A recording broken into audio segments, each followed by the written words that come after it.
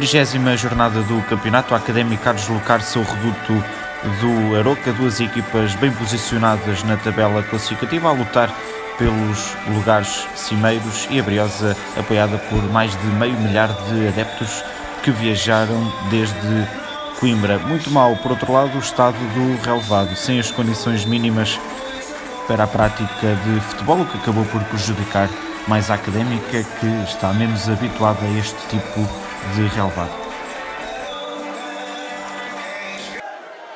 Mesmo assim, foi a equipa de Ricardo Soares entrar melhor no desafio. Guima, aos 3 minutos, a dar o primeiro sinal à baliza de Bracal.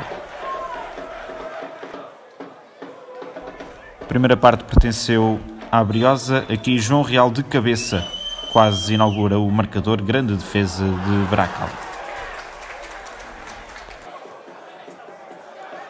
Depois foi a vez de Luizinho, bem lançado por Mike, mas o remate do extremo da Académica a sair por cima.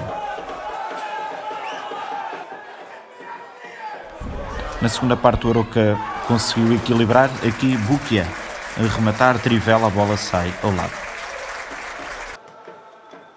A Académica a procurar sempre o golo e aqui Chiquinho dentro da área consegue rematar, mas Bracali defende.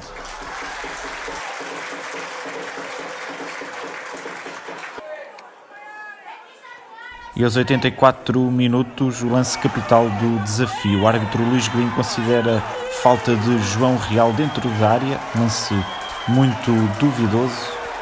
Mesmo assim, o árbitro de Évora a apontar para a marca de grande penalidade.